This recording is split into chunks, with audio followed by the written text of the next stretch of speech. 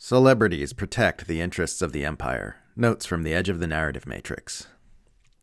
If you say you oppose Russia because you're an anti imperialist, but you don't oppose the US empire for its role in starting and perpetuating this war, then you're a liar. You don't oppose Russia because you're an anti imperialist. You oppose Russia because you're an imperialist. The only people who say Putin can end this war any time by withdrawing are those who deny the US empire's aggressions which led to this conflict, which is just a nonsense garbage position based on lies. They don't actually want peace, they just want victory for the empire. The real unbiased position, which supports peace, is wanting both Russia and the Western Empire to begin engaging in diplomacy, de escalation, and detente to end this war. But Empire simps will call you treasonously biased if you support anything other than total Russian defeat.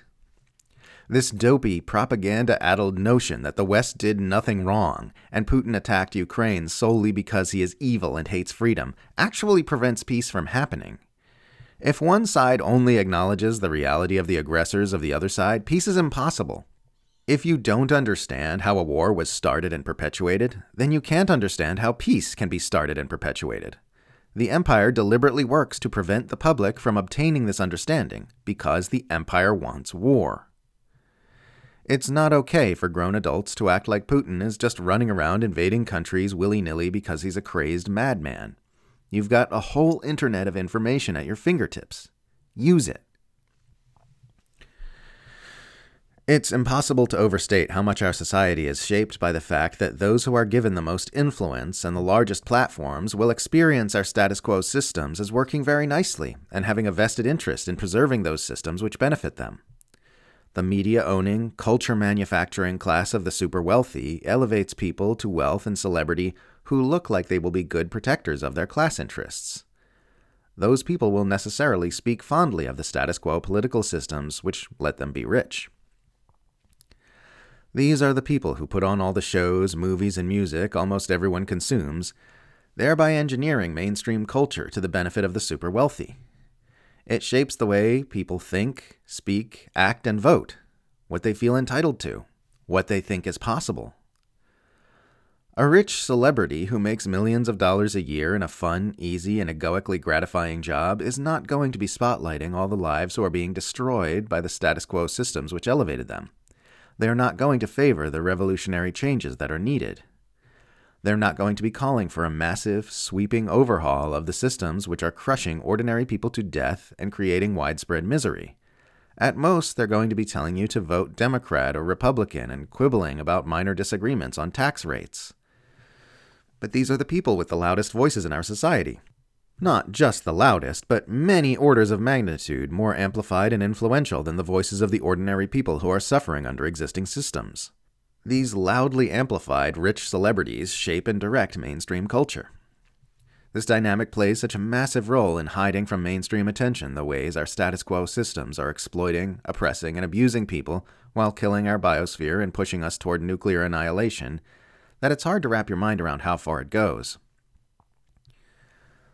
The way everyone's thinking about the world is so pervasively informed by perspectives that are favorable to the status quo prevents them from even noticing how bad things are for everyone else. It's widely assumed that if you're struggling in this mess, it's because of your own failures.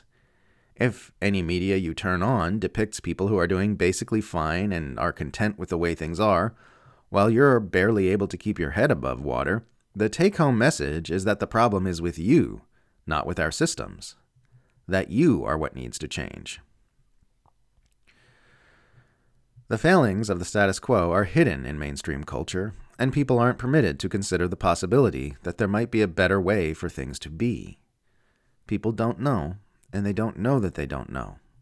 They are kept in the dark about what's possible. People are like, oh, yeah, right, Caitlin. It's always Americans' fault. You're always blaming the US for every conflict just because it runs a globe spanning empire which dominates the planet with violence and coercion and works continuously to keep all the other countries subjugated to it. They're like, right, right. Blame everything on the violent unipolar planetary hegemon. It's like saying, Okay, sure, we're trapped in a room with a tiger, and sure, we keep getting eaten, and yes, your leg is missing and you've got a large bite out of your torso, but you can't blame all that on the tiger. It's not fair. Some of it might be Steve's fault. Steve's kind of a jerk. People whose opinions are grounded in facts and logic don't need to resort to accusing those who disagree with them of being secret agents working for foreign governments.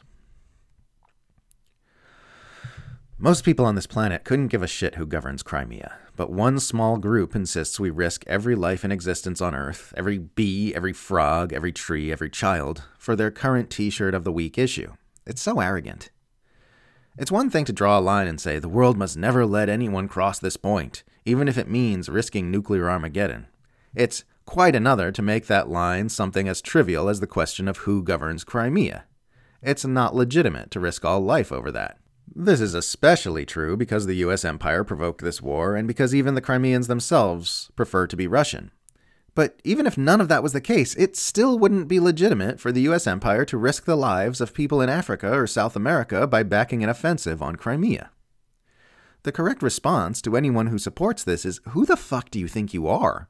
Who the fuck are you to risk the life of every human and non human life on this planet over an issue only a tiny fraction of the world cares one whit about?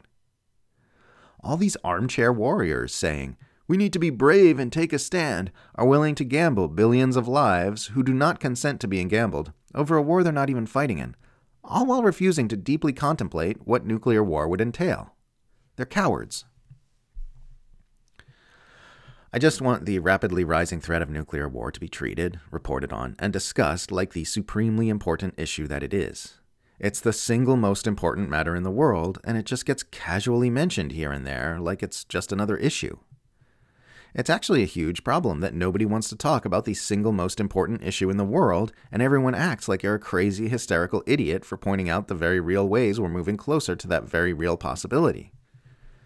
I've been writing about the growing risk of nuclear war for years, and people have been calling me a delusional lunatic and a Putin puppet the entire time.